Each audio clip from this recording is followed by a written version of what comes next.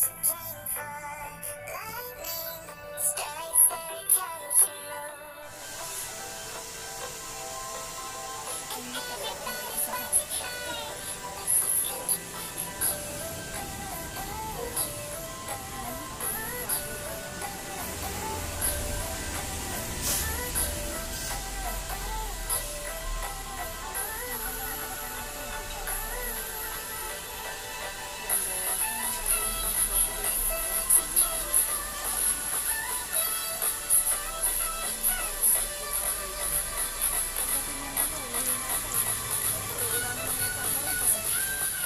Guys, so tara pasok tayo. So ito po yung uh, CapCut Salon. So, ayan.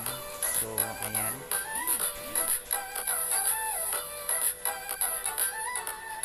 Ayan, meron silang ano, meron silang sale. Ito siya ang Bobcat Salon.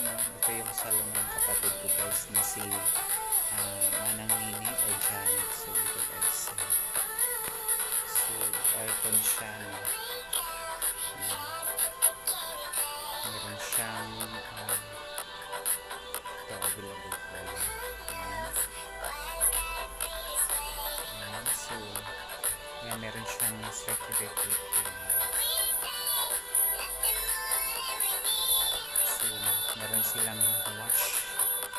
Ayan, meron silang ito. Ito yung